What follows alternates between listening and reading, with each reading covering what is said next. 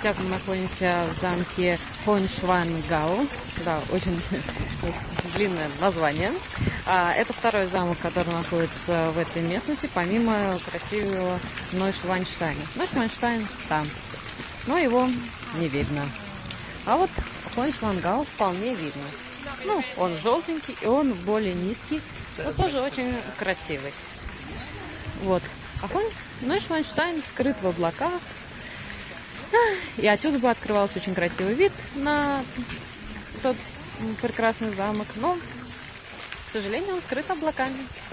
Поэтому будем смотреть вот на таких львов, фонтан и на желтый замок Фон Швангау.